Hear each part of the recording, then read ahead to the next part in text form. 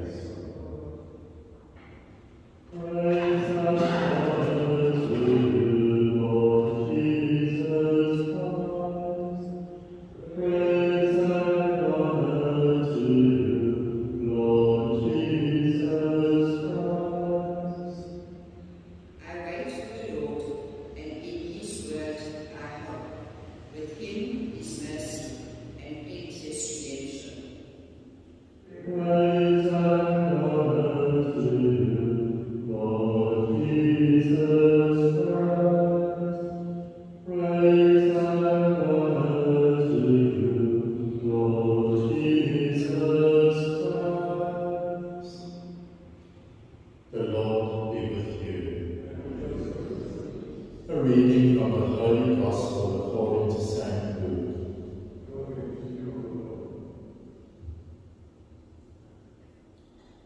At that time, when Jesus had come to Nazareth, he said to the people in the synagogue, Truly I say to you, no prophet is acceptable in his own country. But in truth I tell you, there were many widows in Israel in the days of Elijah. But the heaven was shut up three years and six months. When there came a great flood over all the land, and Elijah was sent to none of them, but only to Zarephath in the land of Sidon to a woman who was a widow and there were many lepers in Israel in the time of the prophet Elisha. And none of them was cleansed, but only Naaman the Syrian. When they heard this, all in the synagogue were filled with wrath. And they rose up and put him out of the city, and led him to the brow of the hill on which their city was built, that they might throw him down headlong.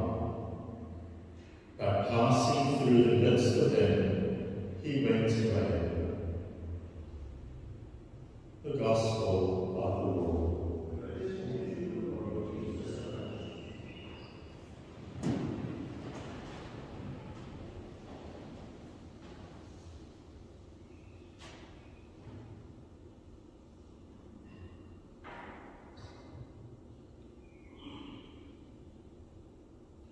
My soul is thirsting for the living God. What a beautiful statement to be able to make. The word thirst is worth reflecting on all by itself. It reveals a longing and a desire to be quenched, not only by God, but by the living God and to behold the face of God. How often do you long for such a thing? How often do you let the desire for God burn within your soul? This is a wonderful desire and longing to have. In fact, the desire itself is enough to begin bringing great satisfaction and fulfillment in life. There is a story of an elderly monk who lived his life as a hermit, being a priest and chaplain for a group of monastic sisters. This monk lived a very quiet life of solitude, prayer, study, and work most of his life. One day, towards the end of his life, he was asked how he enjoyed his life all these years. Immediately and without hesitation, his face became radiant and overwhelmed with deep joy. And he said with the deepest conviction, a glorious life I have. Every day I'm preparing to die. This monk had one focus in life. It was the focus on the face of God. Nothing else really mattered. What he longed for and anticipated each and every day was that moment when he would er enter into that glorious, beatific er vision and see God face to face. And it was the thought of this that enabled him to press on day after day, year after year, offering Mass and worshipping God in preparation for that glorious meeting. Do you thirst for? How would you complete that statement? My soul is thirsty. Dot, dot, dot. For what? What is your soul thirsty for? Too often we thirst for those things that are so artificial and temporary. We try so hard to be happy, and yet we so often fall short. But if we can let our hearts be inflamed with longing for that which is essential, that which we were made for, then everything else in life will fall into place. If God is placed at the center of all our longings, all our hopes and all our desires, we will actually begin to behold the face of God here and now. Even the slightest glimpse of God's glory will satiate us so much that it will transform our whole outlook on life and give us a clear and certain direction in all that we do. Every relationship will be affected. Every decision we make will be orchestrated by the Holy Spirit. And the purpose and meaning of life we are searching for will be discovered. Every time we think about our lives, we will become radiant as we ponder the journey we are on and long to put it into full motion, anticipating the eternal reward awaiting us in the end. Think about what you thirst for. Don't waste your life on empty promises. Don't get caught up in earthly attachments. Seek God. Seek His face. Seek His will and His glory, and you will never want to turn back from the direction this longing takes you.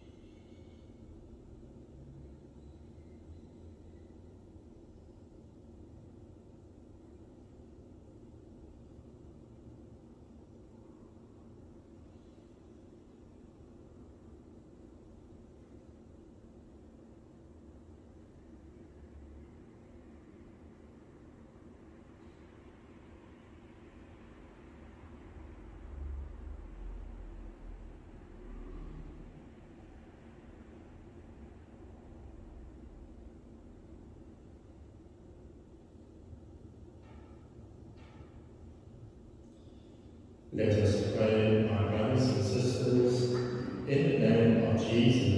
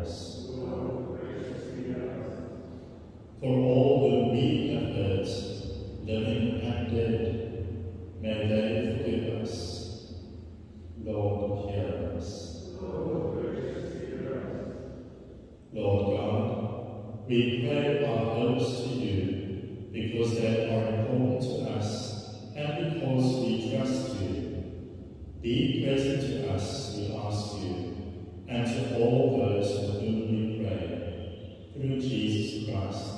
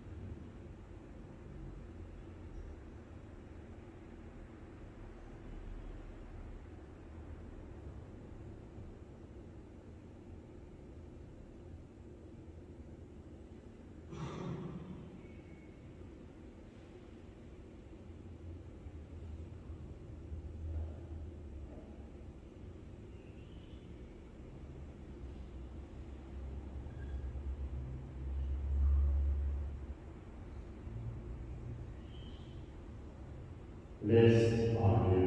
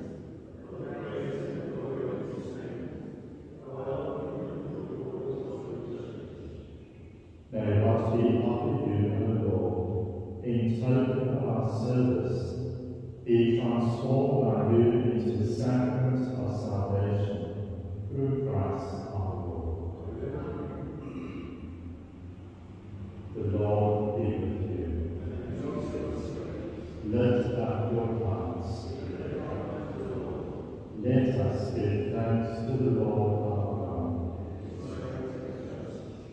It is truly right and just, our duty and our salvation, always and everywhere to give thanks. Lord, Holy Father, Almighty and Eternal God, for you have given us children a sacred time, for the renewed and purified from disordered affections, and I so deal with things of this passing world, as to hold rather to the things that eternally endure. And so, all the angels and saints, we praise you as without end.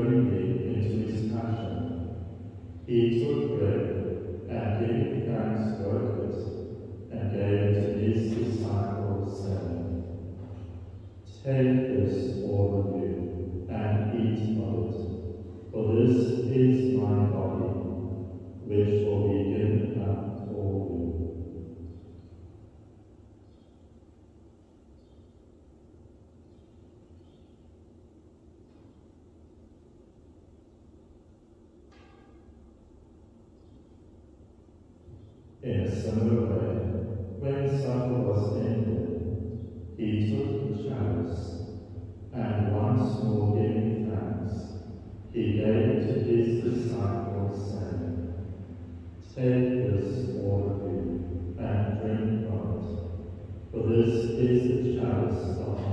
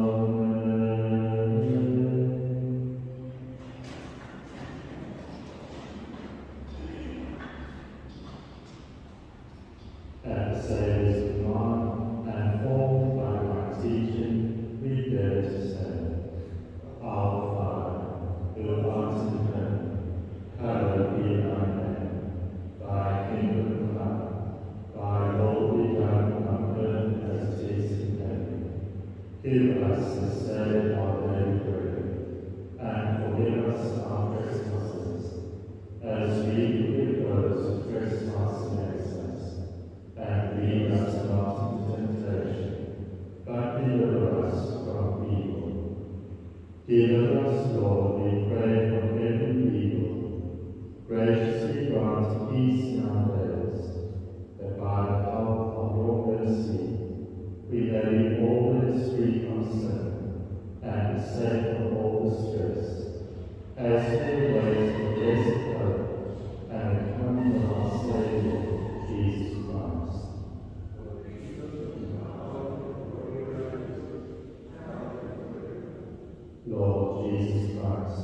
Be safe to your apostles. Peace I leave you, my peace I give you. Look not on our sins, but on the faith of your church, and graciously grant her peace and unity in accordance with your will, through the name of heaven and heaven.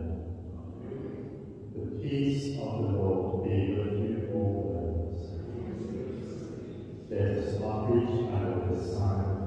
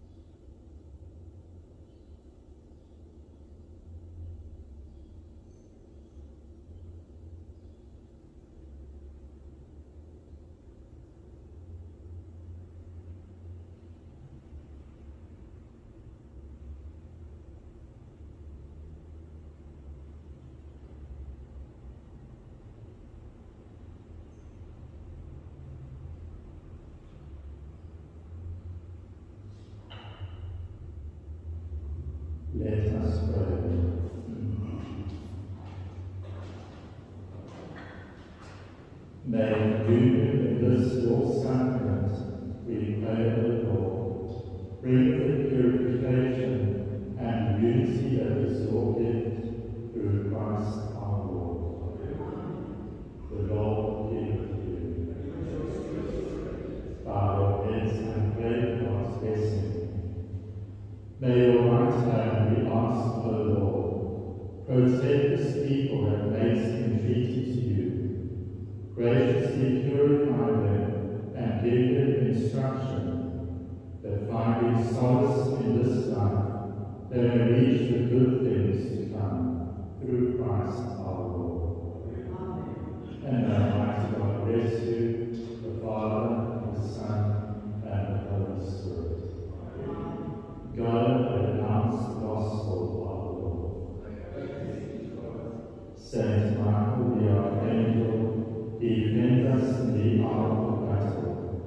in our protection against wickedness and snares of the devil. May God rebuke you we humbly pray, and be thou the prince of the heavenly hosts, by the power of God, thrust down into God, Satan all the evil spirits, the one who will seeking